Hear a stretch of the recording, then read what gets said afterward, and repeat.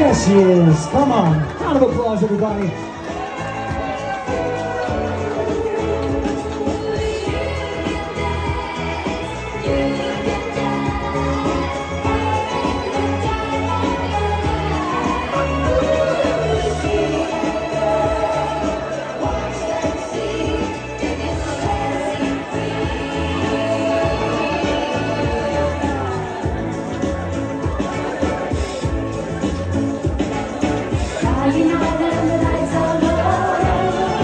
She looks like she absolutely loves it.